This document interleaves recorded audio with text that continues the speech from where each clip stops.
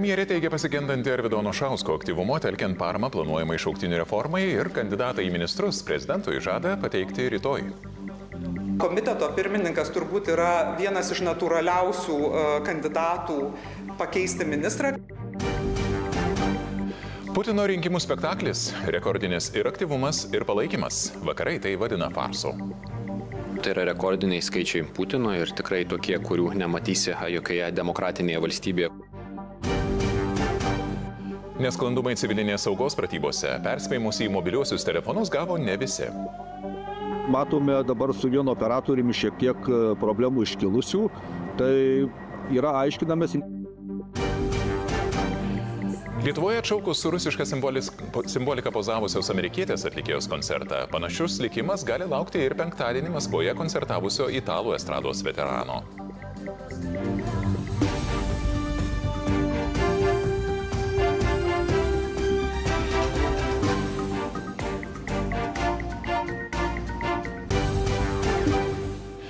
Labas vakaras, pusė devinių Lietuvoje, panoramos metas, studijoje dirbo aš Marijų Žiedas. Kviečiu žiūrėti.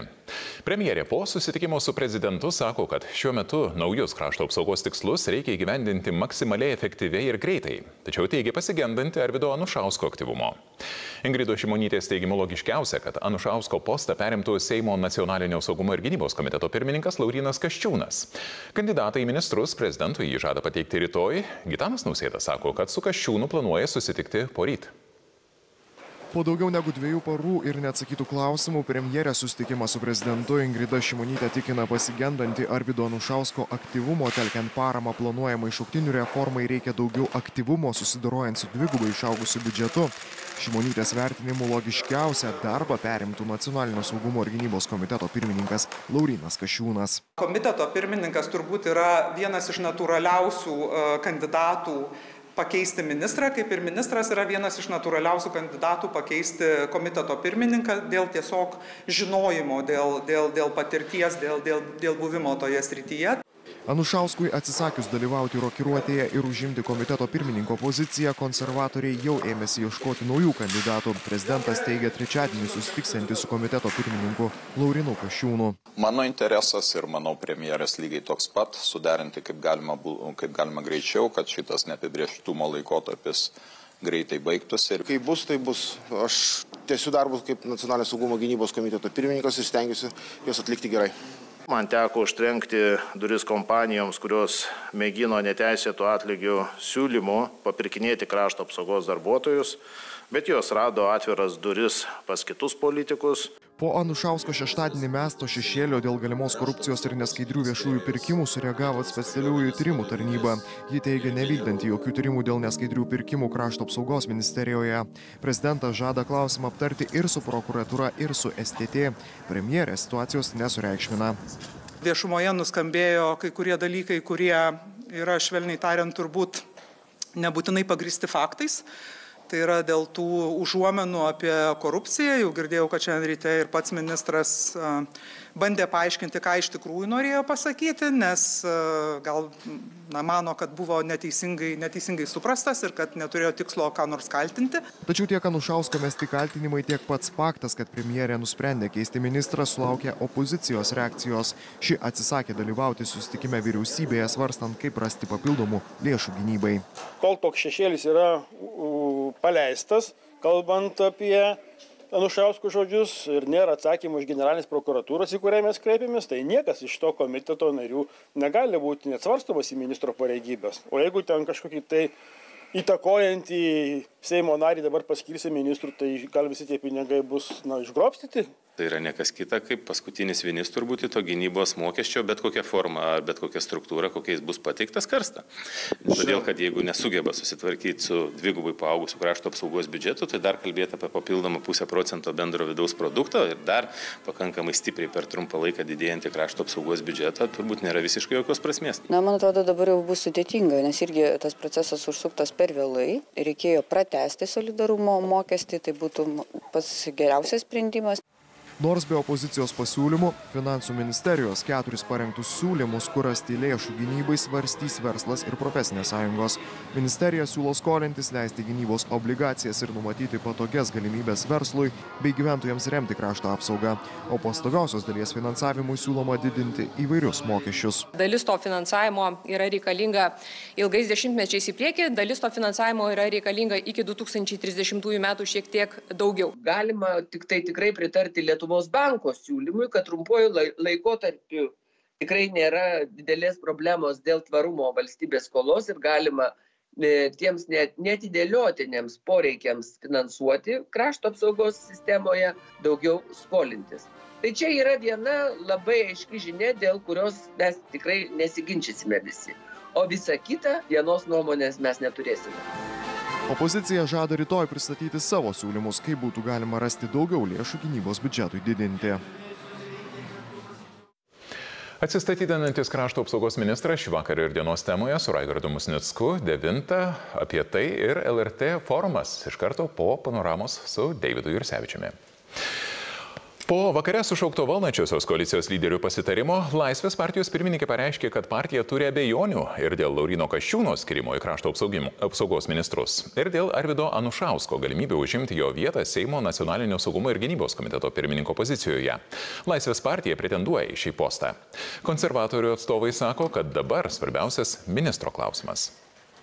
Matom ir matau asmeniškai Lauriną Kašiūną kaip labai energingą darbštų politiką tik tai neramina, sakyčiau, tai yra na, tos politinių pažiūrų skirtumai, kurie yra labai dažnai priešingi. Dėl Seimo NSGK e, Laisvės partija manytų, jog, na, nueinantis pareigas ministras Anušauskas gal galėtų dirbti jau kitame komitete. Pavyzdžiui, e, komiteto na, būtent vadovaujantį poziciją atitekti ir kažkam iš koalicijos partnerių.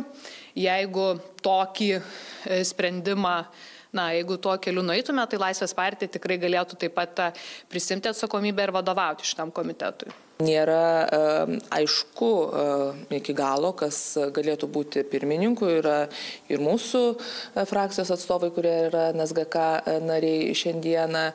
Taipogi turime ir savo frakcijos narių, kurie irgi yra aktyviai įsitraukę į šios klausimus, kurie irgi galėtų atsidurti komiteto sudėti ir galbūt vadovauti. Rusijoje Putino rinkimams pasibaigus Putino pergalę, Kremlius sako, kad balsavimas užtikrino rinkėjų paramą jam ir jo karui. Pats Rusijos lyderis po balsavimo ir vėl grasino vakarams, nevartėjančių trečiuoju pasauliniu karu. Bet vakarų lyderiai rinkimus Rusijoje vadina be pasirinkimo. Paskui Putiną antraplaniai jo rinkimų veikėjai. Paskutinėme veiksme, Krymo aneksijos šventėje, trys Putino rinkimų kandidatai atliko savo vaidmenis. Putinui pralaimėjo, o tada su Putinu pasirodė kartu, jiems kelbent apie rusišką Krymą ir Donbasą. Vienybė ne tik aplink Putiną, bet ir jo karą. Svarbiausias Putino rinkimų tikslas. Dėl to pareigūnai šyrit skelbia rekordą po rekordo. Rekordinis ir aktyvumas, ir palaikymas Putinui. Taip aukštai Kremlius kartelės kartelės dar nėra kėlęs. Nes skaičių žaidimas režimui toks svarbus dar nėra buvęs. Dabar Putinas gali aiškinti. Rekordai rodo, neva rusai supranta ne tik jį, bet ir jo karą. Tai susiję su dramatiškais įvykiais, kuriuos patiria mūsų šalis, su padėtimi, kai turime už piliečių ir tautos interesus kovoti ginklais, kad užtikrintume suverenę ir saugę Rusijos ir mūsų tėvinės plėtrą. Rezultatai ir aktyvumas rodo, kad eiliniai žmonės supranta, kas priklauso nuo jų. Vakarams jis grasino artėjančių pasaulinių karų, gyrė kariuomenę, gyrėsi iniciatyva fronte, kur Putino rinkimus okupantai rengia ir Avdyivkos griuvėsiuose. Bet retai Rusijos karas taip jaučiamas Rusijoje, kaip pastarosiomis dienomis. Įsiveržimai per sieną, apšaudimai, kaip pranešama ir šiandien, Putiną verčia aiškintis. Netmetu, kad atsižvelgdami į šiandieninius įvykius būsime priversti, kai bus tinkamas laikas, sukurti sanitarinę zoną dabartinėse Kyjivo režimui pavaldžiose teritorijose. Putino tikslai nesikeičia, o kai balsavimo spektaklis baigėsi, Ukraina svarsto, kas toliau. Pirmiausia, fronte, kur kiekybė, karių, amunicijos priešo pusėje. Dar vienas absurdiškas Putlerio pareiškimas. Manau, tai kvaila ir vienintelė vieta, kur jis gali kurti pilkąją zoną, yra jų juokinga šalis. Visi supranta, kad tas veikėjas, kaip kad nutiko daugybę kartų istorijoje, susirgo nuo valdžios ir dabar siekia valdyti amžinai. Visi suprato, kad rinkimai nesažiningi ir prieš šešerius metus, bet tada Putinas sveikino tuo metę Vokietijos kanclerę. Dar prieš balsavimą Rusijoje, besivylusi, kad Putiną perenkus, bus galima vėl dėrėtis dėl taikos Ukrainoje. Esu įsitikinusi, kad po rinkimų Rusijoje kitą sekmadienį sulauksime naujo postumio. Šiandien Vokietija sako, Rinkimai Rusijoje buvo be pasirinkimo. Rinkimų procesas rodo ne tik neatsakingą Putino elgesį prieš savo žmonės, bet ir prieš Junktinių tautų hartiją. Vadinamųjų rinkimų organizavimas Ukrainos, Moldovos ir Sakartvelo teritorijose pažeidžia tarptautinę teisę. Vakar paskutinę Rusijos balsavimo dieną suėjo metai, kai už tarptautinės teisės pažeidimus Putinui tarptautinis baudžiamasis teismas išdavė arešto orderį. Bet didžiosios ekonomikos Indija ir Kinija sveikino Putiną, kai vakarų sankcijos prognozuota Rusijos ekonomikos žlugimo taip ir net nešė. Sankcijas pareigūnams susijusiems su Aleksėjaus Navalno mirtimi kalėjime šiandien patvirtino bendrijos pareigūnai. Po balsavimo Navalno pavardę turbūt pirmą kartą ištarė ir Putinas. Aiškino, neva norėjo jį iškeisti per kalinių mainus. Deja, įvyko, kas įvyko. Mainams kėliau vienintelę sąlygą, sakiau, iškeisime jį, jei jis nebegrįž tegul ten sėdi. Navalno paskutinė valia vadinta opozicijos protestą Putinas vadino nesvarbiu, bet apie eilės netoli balsavimo apylinkių vakar vidurdienį jis buvo priverstas kalbėti. Balsavimo spektaklis jo vienvaldystę turėjo užtvirtinti, bet kaip niekad išpūsti balsavimo skaičiai išduoda svarstymus net už Kremliaus sienų. Lietuvos užsienio reikalų ministras tariamus Rusijos prezidento rinkimus vadina farsu ir džiaugiasi, kad balsavimo Lietuvoje rezultatai skiriasi nuo rezultatų Rusijoje. Putinas tarp balsavusiųjų Lietuvoje, Rusijos piliečių, liko antras. Tuo metu kelioms dešimtims Latvijoje balsuoti atėjusių rusų grėsė deportacija. Patikrinus e, Rusijos piliečių dokumentus aptikta tokių, kuriems leidimai gyventi Latvijoje pasibaigia. Savaitgalį vykusius imitacinius Rusijos prezidento rinkimus užsienio reikalų ministras Gabrielius Landsbergis vadina diktatoriaus įvykdyta procedūra, po kurios režimas tikėtina taps dar žiauresnis ir pavojingesnis. Putino surežisuoti rinkimai vyko ir Lietuvoje, prie Rusijos ambasados Vilniuje stovėjo eilė čia gyvenančių Rusijos piliečių. Tai yra procedūra, nedemokratinė procedūra, e, kuri turėtų kažkokiu tai būdu priminti, priminti rinkimus. Ir, ir tiek, ta procedūra jinai įvyko, džiaugiuosi, kad e, Lietuvoje jos rezultatai stipriai skiriasi nuo rezultatų e, Rusijoje. Tai čia kažkokie rinkimai buvo, aš kažkaip nepastebėjau. O Latvijoje prie balsadėžių atėjusių Putino gerbėjų laukia netikėtumas. Kaimyninės šalies vidaus reikalų ministras Richardas Kozlovskis nurodė tikrinti visų atėjusių balsuoti rusų dokumentus. Patikrinus tūkstantį asmenų paaiškėjo, kad 24 leidimai gyventi Latvijoje pasibaigė, jiems grėsia deportacija. Lietuvos Seimo užsienio reikalų komiteto vicepirmininkas Gedrius Ruplys mano, kad tokį dokumentų tikrinimą Kremlius gali įvertinti kaip rusų engimą. Mūsų migracijos departamentas, mūsų valstybės saugumo saugumo departamentas, aš tikiu, daro savo darbą ir mm, ras būdų patikrinti, ar tie žmonės, kurie čia Lietuvoje gyvena arba daro verslą ar dirba, ar jie yra na, lojalūs tai valstybei, kurioje šiuo metu gyvena, ar iš tikrųjų kelia grėsmių mūsų nacionaliniam saugumui. Politologas Linas Kojala pastebi, kad Kremlius po šių imitacinių rinkimų net nebesistengia maskuoti diktatūros. Jei per ankstesnius rinkimus Putino režimas dar imituodavo demokratiją, tai dabar to nebėra. O rinkimų išgalvotas 87 procentų Putino populiarumas taip pat neatsitiktinis skaičius. Tai yra rekordiniai skaičiai Putino ir tikrai tokie, kurių nematysi jokioje demokratinėje valstybėje, kurioje yra reali politinė konkurencija. Bet įdomu pastebėti, kad šis skaičius iš esmės yra labai panašus į tą, kurį Levado sociologiniai tyrimai rodo, na, kaip vertinama Putino Rusijos visuomenėje na, bendrame kontekste. Kitaip tariant, pozityviai Putiną ir vertina maždaug 9 iš 10 rusų. Analitikas Marius Laurinavičius aiškina, kad tokio populiarumo kartelės Putinui reikia neatsitiktinai.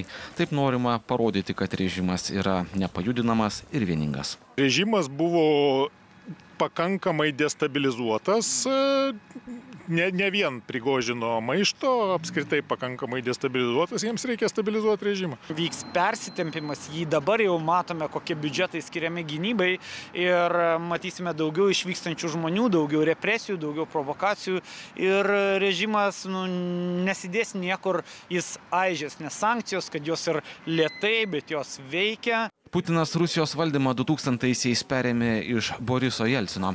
Jei niekas nesikeis, Putinas valdžioje išliks iki 2030-ųjų.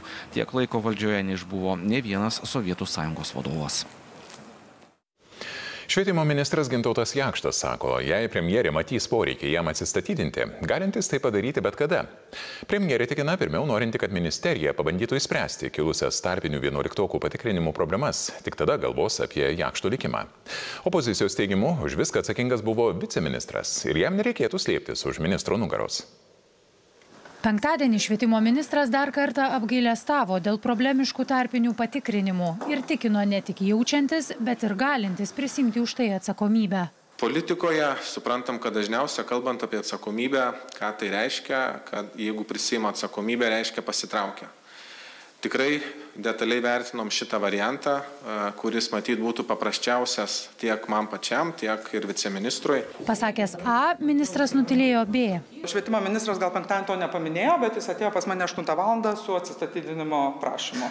Tai aš tiesiog noriu pasakyti, kad ministrui tikrai užtenka nuovokos įvertinti, kad ta situacija, kuris susiklostė su tarpiniais atsiskaitimais, nėra labai maloni. Šiandien Gintautas Jakštas sako, premjeriai pateikęs du sprendimo būdus. Galiu prisimti atsakomybę atsistatydamas ir galiu prisimti atsakomybę spręsdamas šią problemą.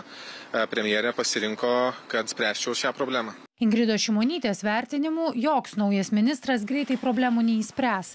Bandyti jas spręsti turi dabartinė ministerijos komanda. Bet nei jai, nei ministrui to padaryti nepavyks, sako švietimo darbuotojų profesinė sąjunga. Švietimo sistemoje jau prisikopė nemažai ir tarpiniai tai tik tai pasiekmė visų, visos tos švietimo politikos. Na, o ministras akivaizdu nesprendė nei savo tapimo ministru klausimo, nei atsistatydimo klausimo. Tai jis e, tampa tokia marionetė. Opozicijos atstovė susidariusią 11 patikrinimo situaciją vadina netoleruotina, bet sako, ne ministras čia kalčiausias. Buvo konkrečiai viceministras deleguotas šitiems darbams, kurių mano akimis netliko. Tai dabar, kad ministras savo nugarą dengia kolega, o dabar ir e, vyriausybės vadovė dengia ir ministrą, ir viceministrą. Man atrodo, nėra gera situacija ir atsakomybę turėtų prisimti viceministras. Švietimo komiteto vadovas įsitikinęs, tarpiniai patikrinimai privalo būti, o jų likimas esą tiesiogiai susijęs su ministro likimu. Jeigu ministras mano, kad reikia stabdyti šitą visą reformą, tai būtų tikrai didelė žala Lietuvai tai tegul atsistatydina. Bet jeigu ministras, kiek aš žinau, tiki, kad ir jo komanda tiki, kad tai duoda didžiulę vertę Lietuvai, tai tiesiog kaip reikalauja pokyčių vadyba, reikia taisyti klaidas. Būtent švietimo ministro sprendimų, kaip koreguoti tarpinius patikrinimus, lauks ir premjerė, prieš tenkindama arba ne jo atsistatydinimo prašymą. Jei premjerė matys, kad reikėtų visgi atsistatydinti, tai aš bet kada galiu. Palauksintis korekcijų, sako ir prezidentas Gitanas Nausėda, nors dar savaitgalį teigė padaręs klaidą, gintautą Jakštą paskyręs ministru. Šiandien vykusiuose civilinės saugos pratybos, pa, pa, pratybose pagrindinis dėmesys evakavimo darbams, jei vyktų nelaimė Baltarusijos atominėje elektrinėje Strave. Taip pat tikrintos perspėjimo sistemos. Gyventojai turėjo gauti pranešimus į mobiliuosius telefonus, tačiau gavo juos ne visi, ypač Tele2 klientai. Vidaus reikalų ministerija žada aiškintis nesklandumų priežastis. Traukinys atvyksta iš pabradės, kur pagal pratybų scenarijų sprogus Astravo elektriniai dalis gyventojų jau traukinyje. Toliau į vagonus susėda evakuacijai pasirengę Vilniečiai. Žinutę gavome telefoną. Ir ką pirmiausiai griebėt? Šuniuką. Žinotumėt, ką daryti, tarkim, at, jeigu na, nevyktų tų pratybų, vyktų tai realybė. Nu, iš karto, jeigu aš būsiu namuose, tikrai aš iš karto eisiu į, į Rusiją. Važiuotumėt kažkur ar vis tik namuose bandytumėt slėptis? Nu, aš tai namuose. Nes jau, kaip sako, man bijot nėra ko. Tai informacijos praktiškai jokios neturėjau labai. Gal apie susibūrimo vietas, kad nu, vat, reikėtų evakuotis, apie jodo tabletės, tokius paprastus dalykus. Evakuacija traukiniu pirmą kartą. Dėl hybridinės atakos tam tikrose institucijose autobusais nebegalima evakuotis, tad nusprendžiama tai daryti geležinkeliu. Anot Lietuvos geležinkelių atstovo, ištikus realiam pavojui evakuacijai būtų parengti visi traukiniai. Ta labai aiškiai parodė ir mūsų brolių ukrainiečių patirtis, kuomet buvo uždarytas tiek oro, tiek jūrų transportas ir geležinkeliai sugebėjo pateikti ir aprūpinti tiek, tiek žmonių, tiek humanitarnės pagalbos pervežimus. Pratybos atskleidė trūkumų. 10 val. gyventojai turėjo girdėti sirenas ir gauti trumpuosius pranešimus į telefonus. Tačiau socialiniuose tinkluose pasipylė nusiskundimų, kad pranešimai pasiekė toli gražu ne visus. Ar 10 val. gavote įspėjimą apie nelaimę? Ne, ne. O sirenas girdėjot? Ne. Mes tikrai nesame, netrodome blogai pasaulyje pagal sirenų vidurkius. Tinklas yra plečiamas ir dėl to tai turbūt tai, kad daugiau žmonių girdėjo, tai rodo tai, kad mes jau šiuo metu yra montuojama 200 papildomų sirenų, dalis jų sumontuota ir dar bus plečiamas tinklas. Kas liečia pranešimus, taip mes matome dabar su vienu operatoriumi šiek tiek problemų iškilusių.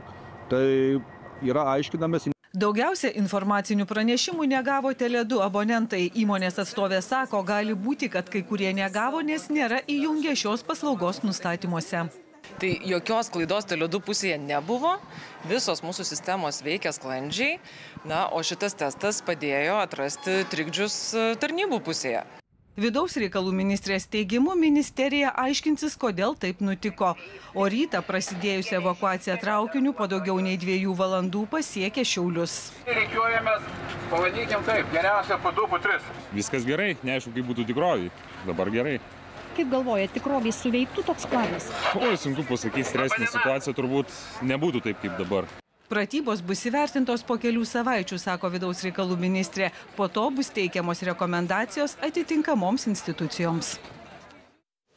Izraelio kariuomenė per reidą didžiausiojo gazos ruožo ligoninėje sako nukovusi 20 Hamas narių, bet operacijos liudininkai žiniasklaidai pranešė apie oro smūgius, susišaudimus ir pastate kilusi gaisrą. Tik pusiau veikiančioje ligoninėje, kaip skelbiama, slepiasi ir pabėgėliai iš ruožo šiaurės, kur humanitarinė padėtis itin sudėtinga. Ekspertų vertinimu, kuriam pritarė ir jungtinės tautos, ruožo šiaurę per artimiausius du mėnesius gali ištikti badas. Jį provokuojant ir naudojant kaip ginklą, Izraelį kaltina ES diplomatijos vadovas. Giuseppe Burelį Izraelis ragina pripažinti šalies teisę į savigyną. Bet nesutarimai ir toliau auga tarp Izraelio ir jo artimiausios sąjungininkės Amerikos. Po Joe Bideno ir Benjamino Netanyahu pokalbio telefonu, Baltieji rūmai Izraelio planus pulti Rafahą vadina klaida. Situacijai aptarti Izraelis į Junktinės valstijas siūs specialią komandą. Didelė sausumos operacija Rafahe būtų klaida. Ji lydėtų į daugiau civilių žučių, pablogintų ir taip didelę humanitarinę krizę, padidintų anarchiją gazoje ir labiau izoliuotų Izraelį tarptautinėje bendruomenėje. Dar svarbiau, kad Izraelio siekiamus tikslus Rafahe galima įgyvendinti kitomis priemonėmis. Susipažinę su Klaipėdos universiteto ligoninės audito išvadomis, Seimo sveikatos reikalų komitetas nusprendė kreiptis į generalinę prokuratūrą. Auditas atskleidė, kad ligoninės taip ir nepasiekė įsigyta brangi aparatūra, o prieš pat reorganizaciją trečdalių pakelti atlyginimai padarė keliolikos milijonų eurų skylę įstaigos biudžete. Antrus veiklos metus skaičiuojanti Klaipėdos universiteto ligoninė, įsteigta sujungus tris gydymo įstaigas, ramiai dirbti dar negali. Po atlikto audito už 2022 metus į generalinę prokuratūrą nusprendė kreiptis Seimo sveikatos reikalų komitetas. Čia yra vienintelis kelias įrodyti, kad tai buvo nusikaltimas. Tai kreiptis į prokuratūrą. Ką tai reiškia? Tai reiškia, kad jeigu mes prokuratūra rastų nusikalstamą veiką, tada tu gali regreso tvarka išsiieškoti tuos pinigus iš asmenų, kurie šitos sprendimus priiminėjo. Auditas atrado aparatūros, kuri įsigyta tik popieriuose, realiai jos nėra, tad ligoninė negali užtikrinti tam tikrų paslaugų. Auditoriams kliuvo komandiruotės į Kretą, ko ne nemokamas darbuotojų maitinimas, tarnybinio transporto naudojimas, tūkstantinės išlaidos kalėdų egliai puošti. Tai vyko, kai Klaipėdos universitetiniai ligoniniai vadovavo Vinsas Janušonis. Paaiškėjo, kad šitą ligoninę praktiškai brangios aparatūros tos neturi, neaišku, kas ten su viešaisiais pirkimais jinai ją turėjo turėti. Jisai tą puikiai žinojo, jisai norėjo, kad nuskestų, kad būtų padaryta maksimali žala ir mes kaip valstybė turėtume uh, gana didelį galvos skausmą. Klaipėdos universiteto ligoninės naujoji vadovybė sako aptiktus pažeidimus jau taisanti sutartis, kurios nenaudingos ligoniai. Tai kai kurios jų jau yra nutrauktos, o dėl kai kurių dabar yra atliekami arba vidaus auditai, arba jau yra įspėjimai dėl sutarčių nutraukimo ir greito išsikelimo, sakykime, dar viena iš išvadų, na, neplanuoti arba netiksliniai viešieji pirkimai. Tai šitas klausimas yra labai pas mus aiškiai kontroliuojamas. Taupoma, perkama tik tai, kas būtiniausia. Departamentų prašoma mažinti išlaidas. 14 milijonų eurų skolos susidarė paskutinį veiklos mėnesį prieš įstaigų jungimą. Klaipėdos Klaipėdos universitetinės ligoninės darbuotojams trečdalių pakėlus atlyginimus. Stebėtojų taryba tam pritarė.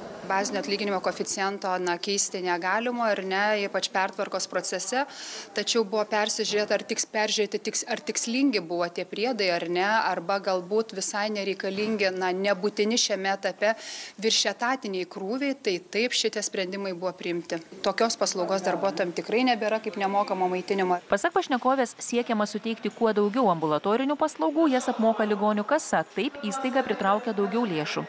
Taip pat taupoma bus sujungus tas pačias paslaugas teikiančius skirius, mažinant komunalinės išlaidas.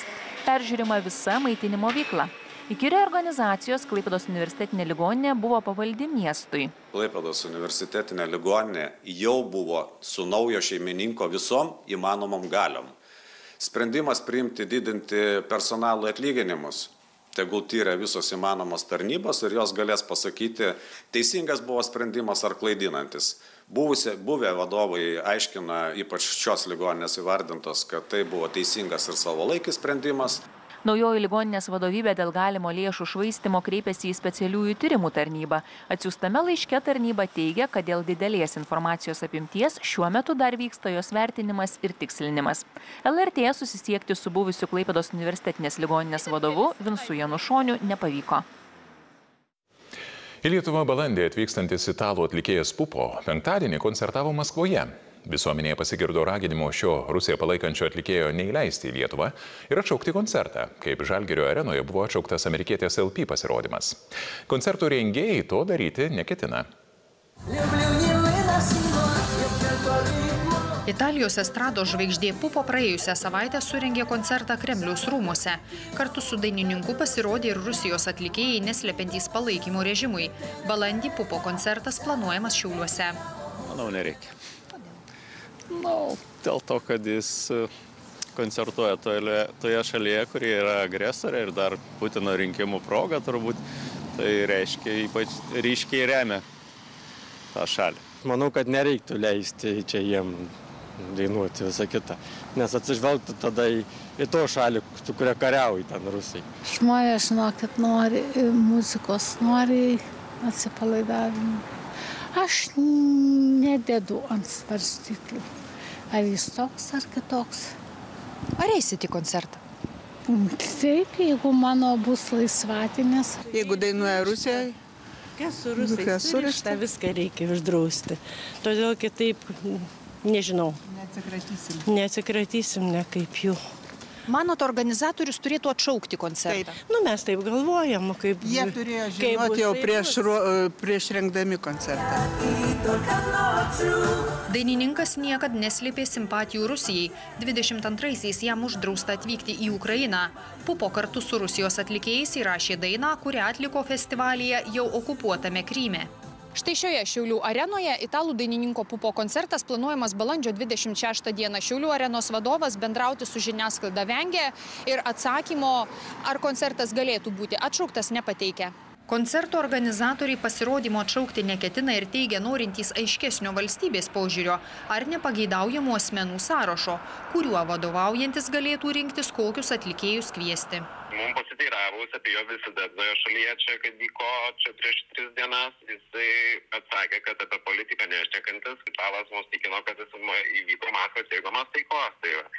Tai mes turime, žinok, kaip galiojančią sutartį su arena, su, su atlikėjus, su, su atlikėjų, neturime tokio kaip ir teisinio pagrindo vienreišmiškai atšaukti. Šį mėnesį Žalgirio arena nusprendė nepriimti koncertuoti amerikiečių dainininkės LP, kai ši išreiškė padėką Rusijos gerbėjams ir apsivilko mėgstinį su Rusijos vėliavos spalvomis.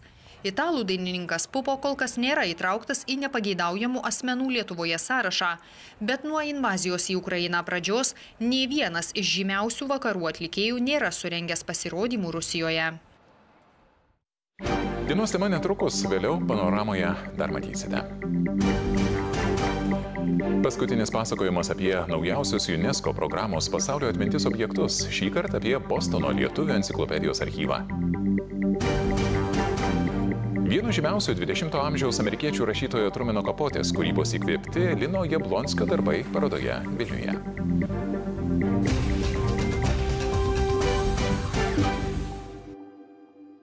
Labas vakaras, šią dienos tema studijoje dirbu aš, Raigardas Musnickas, o šiandien e, dienos temos svečias - krašto apsaugos ministras Arvidas Nušauskas. Sveiki.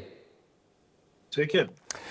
Premjerė Ingrida Šimonytė šiandien paaiškino, kodėl pasiūlė jums trauktis iš krašto apsaugos ministro pareigų. Jis sako, kad pasigėdo aktyvumo. Ar jūsų nuomonė kažkaip kitaip spręsti klausimą, negu atsistatydinti nebuvo įmanoma? Na, pavyzdžiui, tapti aktyvesniu, greičiau suktis, greičiau vykdyti reformas. Na, jeigu būtų pasiūlyta taip daryti, tai aš tą būčiau matyt padaręs, bet šiuo atveju matymas yra kito žmogaus su kitom savybėm. Tai čia aš jau negaliu pasikeisti. Aš manau, kad krašto apsaugos sistemos žmonės tikrai dirbo aukodami save. Aš neturiu galvoje, kad aš vienas dirbau. Žinot, už kiekvieno darbo stovi dešimtai, šimtai ir tūkstančiai žmonių čia dirbančių. Dėl to aš negalėčiau sakyti, kad jie dirbo lietai. Jie dirbo pagal savo jėgas, pagal savo galimybės ir be abejo padarė daug darbų, kuriais aš manau, kad galima didžiuotis. Iš komunikacijos visos, kuri vyko savaitgalį, dar ir šiandien, atskirai vaikšto premjerė pas prezidentą, jūs, premjerė paaiškina jūsų žingsnį iš pradžių Facebook'e, paskui šiandien. Toks sudaro įspūdis, kad tarp jūsų ir premjerės prabėgo juoda katė. Na, aš manau, kad kiekvienas turi teisę į savo įspūdį. Aš tik tai paaiškinsiu, vis tik tai kaip krašto apsaugos ministras su prezidentu sustinku reguliariai.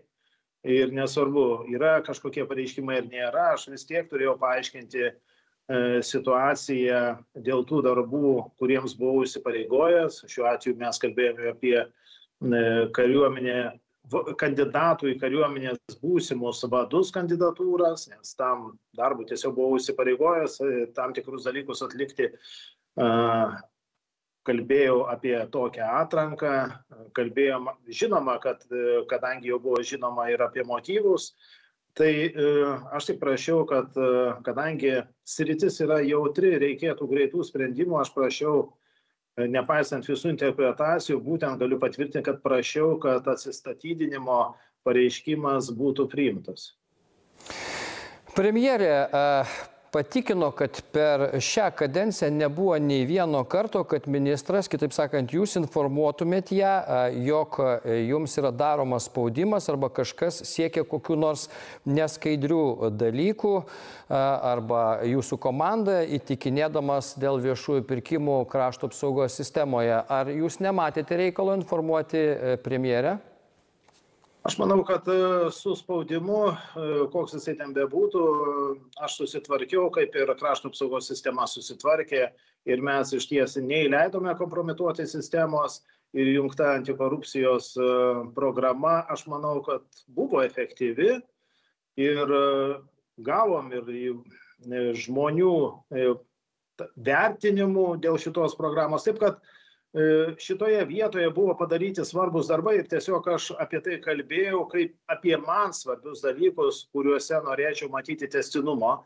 Ir tai nėra dūmų uždanga, tai yra realūs darbai, kuriuos padarėme ir norėtume, kad jie būtų tiesiami, nes kai mes naudojame didelius mokesčių mokėtojų pinigus, vis dėlto visuomenę turime įtikinti, kad tie pinigai naudojami skaidriai, be jokių už, užpakalinių durų ir panašiai. Taip mes patyrėme įvairaus spaudimo, e, taip jisai galbūt balansavo kai kur ant ribos, bet bet kokiu atveju mes susitvarkėme.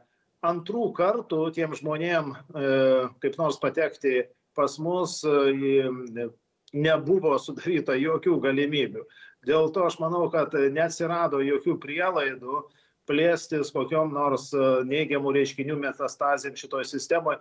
Krašto apsauga su tuo susitvarkė. Ir dėl to norėčiau atsakyti ir opozicijos pareiškimus. Vis dėlto būtent krašto apsaugos sistema susitvarkė, o va kaip susitvarko su politiniu lobizmu e, kita sistema ir pats Seimas, iš tikrųjų čia klausimas, kaip reikia monitorinti susitikimus, ką reikėtų žymėti. Žinau, kad kai kurios frakcijos, kai kurie nariai labai nuoširdžiai žymė visus susitikimus ir tai deklaruoja, bet anaip tol tai nėra toks apibendrinantis, na, visus apimantis reiškinys.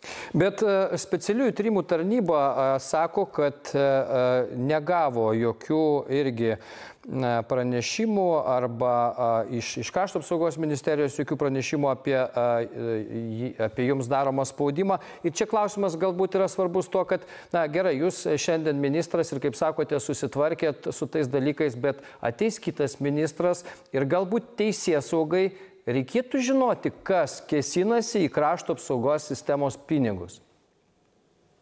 Na, pirmiausia, aš turiu pasakyti, kad aš suprantu, kad e, dažnas lietuvis norėtų, kad viskas vyktų per ikiteisminius tyrimus. Aš manau, kad svarbiausia, jeigu jūs pamatote rizikas, matote, apibrėžėte tas rizikas, tai vis dėlto padaryti taip, kad tos rizikos nevirstų grėsmėmis. Taip mes ir darėme, taip ir dirbame. Ir šiuo atveju aš manau, kad tai yra korupcijos prevencijos programos dalis. Ar yra Lietuvoje, sakykime, prieš priešą tarp tankų šalininkų pirkimo ir dronų vystytojų?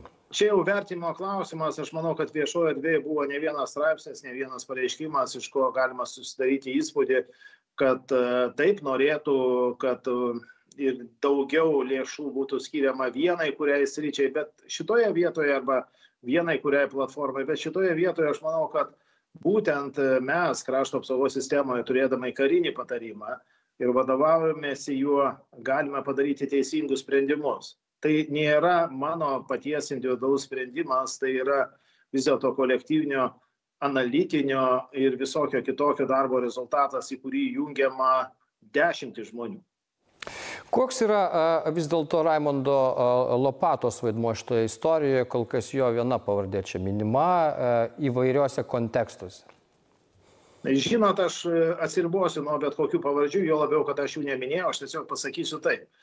Kai vyksta viešieji pirkimai, bet kurių politikų, kokie jie pavardę benešiotų, vis dėlto kišimasis į viešuosius pirkimus su savo pareiškimais, ir visais kitais dalykais yra kišimasis į viešuosius pirkimus. Įstatymas tai riboja ir būtų gerai, kad e, mes žiūrėtume, e, kodėl tai buvo daroma, ar iš tikrųjų buvo deklaruoti santykiai su verslu, ar nebuvo deklaruoti ir panašiai. Tai šitoje vietoje aš manau, kad e, tvarkos daugiau reikėtų jau galiojančio lobistinės veiklos ar ten poveikio įstatymo nuostatos, jos turėtų būti kažkaip monitorinamos, ta prasme, daug labai politikų vis tik tai po šiai dienai nedeklaruoja nei tokių sustikimų, nei gautos informacijos, kurie remiasi savo paklausimuose, jau e, faktiškai, kai daromas poveikis vykstantiems viešiesiems pirkimams. Kaip jūs spręsite dėl nacionalinio saugumo ir gynybos komiteto pirmininko posto? Apie tai buvo užsiminta, kad jums buvo siūloma pakeisti e, ministro pareigybę būtent į šį postą. Dabar pasirodo naujienų, kad jau ne tik jūs e, kandidatas į šį postą, bet e, gali būti ir kiti konservatoriai kandidatais. Mm, tai vis dėlto, jeigu dar galimybė bus, ar jūs sutiksite šį postą užimti ar ne? Be abejo, tai demokratinis procesas ir aš manau, kad Seimas kaip demokratinė, nepaisant visų trūkumų, bet vis dėlto demokratinė institucija, kur yra e, ieškoma sutarimo e, dėl kokio nors geresnio ar geriausio kandidato, šiuo atveju aš manau, kad e, e, tuos dalykus vis tiek turėtume spręsti iš pradžių pas save, o jau paskui žiniasklaidoje. Bet tai klausimas paprastas. Jeigu vis dėlto apsistota bus ties jūsų kandidatūrą, jūs sutiksite tapti NSGK pirmininku ar ne? Aš dėl kiekvieno veiksmo iš pradžių galvoju. Dar nesugalvojat? Aš visada galvoju, tokių pasiūlymų aš neturiu, dėl to neturiu dėl ko galvoti ir laužyti savo galvos. Opozicinės partijos e, e, protestuodamos prieš tai, kas vyko, nedalyvavo šiandien svarstant gynybos mokestį. E, kaip, atrodo, kaip Jums atrodo, kiek čia sąsojų su to, ką Jūs pasakėte apie korupciją sistemoje ir partijų politinių norų dalyvauti svarstant gynybos mokestį? Žinot, prisiminkim ir savaitę anksčiau, kai kalba buvo apie tą posėdį, dalis tos pačios opozicijos sakė, kad nemato jame prasmės, e, tiesiog nebuvo nusiteikę, aš manau, e, kalbėtis šiuo labai svarbiu klausimu. Ir e, savo nusiteikimą patvirtinti dabar jie naudojasi bet kurio pre, pretekstu. Tai šiuo atveju aš vis dėlto tikiu, kad opozicijoje yra žmonių, kuriems nuoširdžiai rūpi Lietuvos saugumas, krašto apsauga, kariuomenės stiprinimas ir aš kreipiuosi į juos vis dėlto daryti įtaką savo politinėse jėgose e, ir e, ieškoti bendro sprendimo. Nes tai yra svarbu, tai yra svarbu Lietuvos žmonėms, tai yra svarbu mūsų visuomeniai, ne ministrų pasikeitimas, o būtent šie klausimai. E, tolimesni jūsų santykiai su partija. Ar jie kaip nors po šito sprendimo, po premjerės pareiškimų, po kai kurių partijos vadovo pareiškimų keisi santykiai ar ne? O ką turite galvoje? Na, nežinau, gal kaip tokiais atvejais būna, suspenduosite, pavyzdžiui, narystę frakcijai, partijai, dar kas nors. Visokių dalykų būna. Na, e, žinot, e, aš esu e, gal ir emocingas, nors taip ir netrodau, bet vis tiek. Partijos narys aš esu senai. Aš mačiau į ką veda skaldimas, susiskaldimas kriziniais laikotarpiais. Tai man tai nėra labai priimtina ir gera praktika. Vis tiek mes turime ieškoti bendro sutarimo, nepaisant nuomonių skirtumo. Aš tik tai pažadu, kad mano nuomonė vis tiek nebūtinai gali sutapti su uh, kažkieno tegu ir partijos vadovo nuomonė. Dėkui Jums. Atsistatinantis krašto apsaugos ministras Arvidas Anušauskas buvo šiandien dienos temos svečias. Ačiū visiems, kad žiūrėjo. Toliau panorama.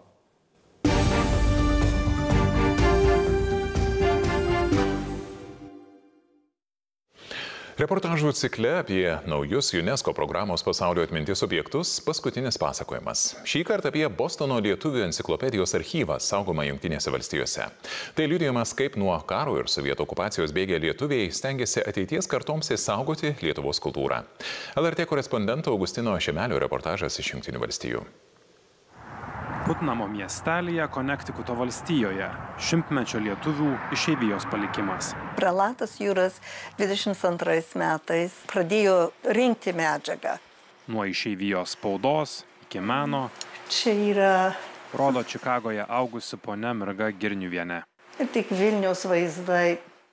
Muziejus po karo priminęs apie okupuotą tėvynę už Atlanto. Šitas man baisiai patinka.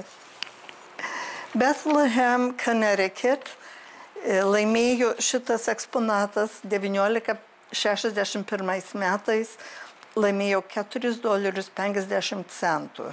Lietuviai atvykdavo čia ir surasdavo kitus lietuvius ir padėdavo viens kitam.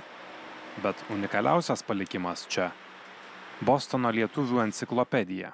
Sukurta ir išleista išeivijoje jokia kita bendruomenė išeivijoje nėra išleidusi visuotinės enciklopedijos. Čia yra du komplektai pilni nuo A iki papildymų tomo, kuris yra 37.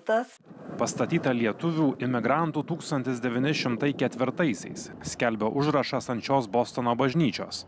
Vėliau Bostonas tapo nuo karo pabėgusių lietuvių intelektualų centru. Jie būdami e, čia Amerikai turėjo dirbti, žinai, cukraus fabrikuose, krauti į traukinius dėžės ir pana, juodą darbą dirbti. Bet enciklopedija tapo būdu išsaugoti lietuvių kultūrą ir atsverti plitusį sovietų naratyvą apie Lietuvą. Jie visi juto, kad čia yra kova už Lietuvą ir už tiesą. Čia buvo šventas reikalas. Subūrė intelektualus, kur, žinai, istorikus, literatus, menininkus, filosofus, psichologus, o jie buvo išsibarstę po visą Ameriką. Autoriai, straipsnių autoriai. Dirbo dešimtys garsiausių jų. Gimbutienė Marija. Dešimtmečius trukęs darbas. Ivinskis Zenonas istorija, Jakštas Juozas, Jakubėnas Vladas muzika. Šie autoriai Amerikoje medžiagas siuntė enciklopedijos redaktoriams. Tas New York'e gyvenas Maciūnas jų medžiagą surinko, suredagavo ir išėjo L tomas. Jis yra 15. Raidės L tomas tik apie Lietuvą. Šitam kambarį laikomas Lietuvų enciklopedijos archyvo fondas. Dabar archyvas įtrauktas į UNESCO nacionalinį registrą. Čia dešimtmečiai darbo, garsiausių lietuvių autorių tekstai enciklopedijai, siūsti jos redaktoriams, nuo Bernardo Brasdžionio iki Juozo Girniaus. Atsiųsdavo Girniui ir Girnius redaguodavo. Čia yra jo, aiškiai čia yra jo rankraštis. Jis rašydavo ant tokių mažų papiriukų. Ir kodėl? Nes jis taupus buvo, jie nebuvo turtingi, neturėjo daug popieriaus. Kiekvieną sakinį reikia peržiūrėti. Dešimtmečių darbą išeivijoje vienijo tikslas - darbą baigus. Tada svajoju perduosim Lietuvai. 37 Bostono lietuvių enciklopedijos tomuose apie 20 tūkstančių puslapių. Vilniuje galerijoje Drifts atidaryta personalinė dailininko Lino Jablonskio paroda, kurioje darbai įkvėpti vieno žymiausių 20-ojo amžiaus amerikiečių rašytojo Trumano kapotės kūrybos. Tai pirmoji menininko paroda galerijoje, kurioje rodomi anksčiau neeksponuoti piešiniai. Įkvėptas dokumentinio filmo apie kapotę, Jablonskis perkelė jo gyvenimo fragmentus į piešinius. Šio kūrybinio proceso rezultatas - beveik pusė šimto naujų menininko darbų. Nedidelio formato kūriniai vaizduoja rašytoją įvairiuose amplua - jo aplinką, New Yorko miestą ir jo klėtinėlę, rašytojo kūrinių veikėjus, draugus bei mylimuosius. Paroda veiks iki balandžio 19 dienos, o šį šeštadienį galerijoje vyks ekskursija su jos kuratoriumi.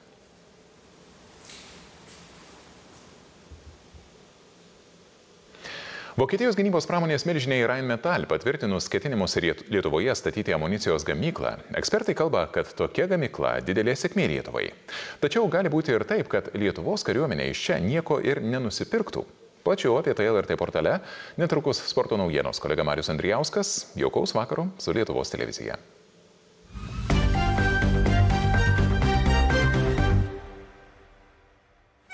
Labas vakaras, pradėkime nuo krepšinio. Kauno Žalgris antradienio dvikovas su Bolonijos Virtus pradės dvigubą Eurolygos savaitę. Abiejos rungtynės kauniečiai žais namų arenoje. Ketvirtadienį priims Vitorijos Baskonijos krepšininkus. Rytoj susitikime su Šiaurės Italijos klubu bus paminėtas 99-ųjų Žalgirio triumfas svarbiausiame Europos krepšinio klubų turnyre. Žalgirio strategas Andrėja Trinkieris pamena legendinį finalą. Eurolygą vadina žiauriausių turnyrų. Kauno Žalgirio gerbėjai mintimis gali nusikelti į sezono pradžią, kai Lietuvos čempionai laimėjo Bolonijoje. Dabar kauniečiai iš 15 pozicijos bando kabintis į dešimtuką ir tik nepriekaištingas finišas įsaugotų galimybę kovoti dėl vietos atkrintamosiose varžybose. Bolonijos klubas per paskutinės dešimt rungtynių laimėjo tik tris kartus, bet Žalgirio strategas nebejoja laukia mūšis su pirmojo aštuoneto komanda. Jie žaidžia žiauriausiame turnyre pasaulyje - Eurolygoje. Galbūt niekas nesitikėjo jų matyti tokiame lygyje. Pamenu pirmąjį sezoną Bayerno klube, kai buvome penkti. Labai sunku tai išlaikyti. Virtus nuostabiai pradėjo sezoną, pasitikinčiai laimėjo daug įtemptų rungtynių pabaigų. Jei pralaimi daug tokių rungtynių, gauni kompleksą. Jei laimi, vėl įgauni pasitikėjimo. Visi kalba apie pasitikėjimą, kad vieni jo turi, kiti ne. Tačiau parduotuvės lentynoje niekada nemačiau pasitikėjimo savimi savimi. Turi ką nors daryti, kad jo įgautum. Ir jie tai padarė. Rungtynėse su Virtu Žalgiris minės klubo triumfą Eurolygoje. 1999 balandžio 22 dieną Münchene Jono Kazlausko vadovaujami žalgriečiai finale nukovė tuo metį Bolonijos Kinder klubą. Ta proga kauniečiai pasipuoš pergalės įkvėptomis išskirtinėmis aprangomis. Great game. Tai buvo puikios rungtynės. Iš mūsų Italijos komandos pusės tai nebuvo geriausios rungtynės, bet Žalgiris laimėjo pelnytai. Ednio ir buvio duetas buvo nesulaikomas. Mačiau buvį žaidžiantį Milane. Jis neįtikėtinas profesionalas. Nieko nebijojo, pataikė sunkiausius metimus. Ta sezoną Žalgiris buvo likimo komanda. Žalgirio ir Virtus dvikova Kaune antradienį nuo 20 val. transliuos LRT televizija. Neseniai sutartį su Eurolyga pratęsęs organizacijos vadovas Paulius Motijūnas buvo giriamas už turnyro plėtrą naujose rinkose. Mažai žingsniais organizacija praverė Junktinių Arabų Emiratų duris. Pirmą kartą čia bus surinktas vienas Eurolygos jaunimo atrankos turnyrų. Kovo 22-24 dienomis Dubajuje jėgas išmėgins Kauno Žalgirio dubleriai. B grupėje jų laukia rungtynės su Bolonijos Virtus, Valencija ir Eurolygos talentų Next Generation komanda. Laimėtojai pateks į finalo ketvirtą Berlyną. Berlyne. Savaitgalį paaiškėjo Lietuvos boulderingo čempionai. Lietuvos laipėjimo federacija džiaugiasi jaunųjų sportininkų pasiekimais. Debitavęs Tokijo žaidynėse laipėjimo sportas olimpinėje programoje išliks bent iki 2032. Vilniuje surinktas vienas svarbiausių laipiotojų metų renginių. Visų norinčių žiūrovų nesutalpinės atvirasis šalies boulderingo čempionatas. Laipėjimo disciplina, kai sportininkai lipa 4-5 metrų aukščio unikaliomis trasomis. Absoliučia moterų varžybų nugalėtoja tapo Rugilė Tamašiūnaitė, apgynusi pernai iškovotą titulą. Norint rezultatų, žinoma, kad reikia įdėti darbo. Man pasisekė, kad aš pradėjau laipioti nuo ankstyvo amžiaus. Tai šitas tikrai labai pravartu, nes visai kitas suvokimas, kita patirtis, kitaip išsivysto kūnas. Come on, come on! Naujojų vyrų čempionu tapo Romanas Sivakovas. 2020 ir 2021 metų bronzos laimėtojas į Lietuvos čempionatą atvyko iš Austrijos. Planuoju vystyti šį sportą, dėl to noriu mokytis iš stipriausių, ne tik Lietuvoje, bet ir Austrijoje ir galimai visoje Europoje. Laipėjimo sportas pirmą kartą įtrauktas į Tokio žaidynio olimpinę programą. Laipėjimas išliks ir po ketverių metų Los Andželė bei 2032 Brisbane. Tokijai pirmą kartą dalyvaujant olimpiadoje turėjom tą vadinamą trikovės formatą ir vieną medalių komplektą. Vadinasi, visi sportininkai turėjo dalyvauti ne tik boulderingo dalyje, kurią va, turime šiandien čia ne, bet ir sudėtingojo laipėjimo ir greitojo laipėjimo disciplinose kas ne visiems sportininkams natūraliai buvo įprasta. Paryžiuje jau bus du atskiri medalių komplektai. E, greitasis laipiojimas bus kaip atskira, turės savo atskirą medalių komplektą, o sudėtingasis ir boulderingas turės vieną bendrą. Nei Tokijoje, nei Paryžiaus žaidynėse boulderingo atstovų iš Lietuvos nebus, tačiau federacija džiaugiasi augančią kartą. 15 gimtadienį išvakarėse daugelį nustebino jaunoji Gertrūda Kapalinskaitė, moterų finale užėmusi šeštą vietą. Jeigu seniau turėdavom ten vieną, du jaunus sportininkus, vyresnius sportininkus irgi, kuriuos galim siūsti, tai kaip ir minėjau, ne, šį pavasarį keliaujam su nu, aštuonių žmonių komanda į jaunimo taurės etapus. Tai yra ženkliai didelis patobulėjimas nuo to, kur buvome. Atviroje Lietuvos boulderingo čempionato atrankoje dalyvavo per 260 dalyvių, bandydami įveikti 60 skirtingo sudėtingumo trasų. Užbaigime irgi krepšiniu. Vienintelės Lietuvos krepšinio lygos rungtynėse. Utenos Juventus Kedainiuose 93-88 įveikė nevėdžio krepšininkus. Tiek sporto. Netrukus apie savaitės pradžios orus žinias atnaujinsime labame ryte. Gražaus likusio vakaro.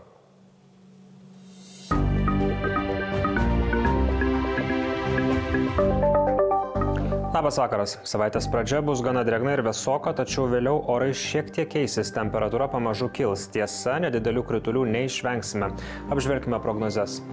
Naktį debesuota, kai kur didesnė tikimybė šiaurės rytinėme pakraštyje, nedideli krituliai, vietomis plikledis rūkas, temperatūra sieks nuo 3 laipsnių šalčio iki 2 šilumos. Rytoj dieną debesuota, kai kur nedidelis lietus, rytą vietomis plikledis rūkas, diena bus 4-9 šilumos. Pasižiūrėkime, kokie orai skirtingose šalies dalyse. Apniukusi diena ties telšiais, Klaipėda palanga, taip pat Šilutėje ir Tauragėje. Šalies vakaruose rytoj bus 6-7 laipsniai. Debesuota Šiauliuose, Mažiekiuose ir Joniškyje, su pragidruliais Panevežyje ir Biržuose. Čia bus apie 7-8 šilumos. Tie šalies vidurių taip pat bus apniukę. Kaune ir Marijampolėje apie 7, Alituje, Varenoje ir Druskininkuose 6 laipsnius šilumos.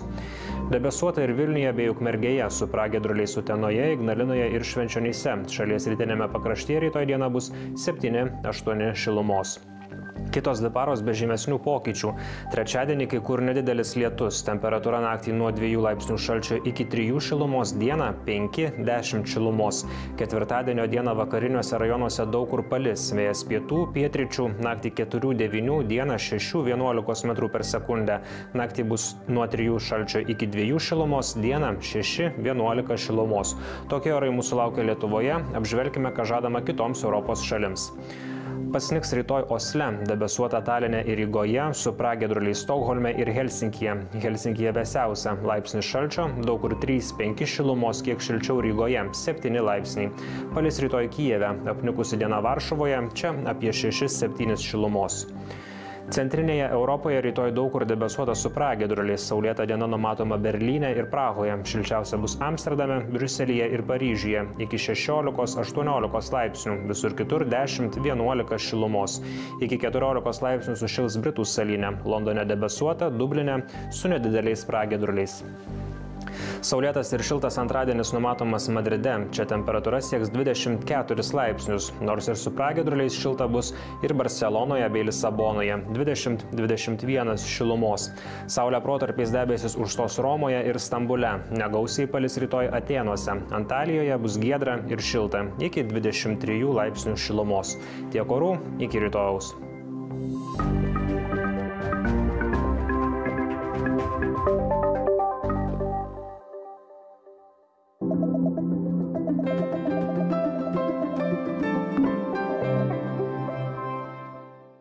Argentinos tango dievaitis Markosas Ajala ir jo trupė Lietuvoje.